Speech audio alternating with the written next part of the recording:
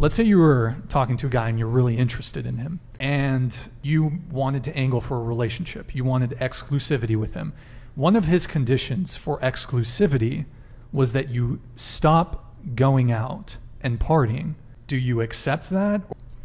Personally, I wouldn't accept that just because I think a huge part of partying, at least for me, is going out with my friends. Like, I love going out with my friends, my guy friends, my girlfriends. It's just always a fun night, like, no matter where we go. What about you? Well, if it's like a condition, like you have to, I would say no. No, I do not listen to men. I So- don't party every weekend, but if I wanted to, I would.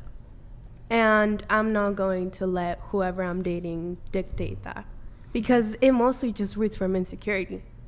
Um, no, I wouldn't be okay with that because You, just you wouldn't. wouldn't be okay. Okay. With, yeah, I don't want him to ha- think he has control on like other aspects after that.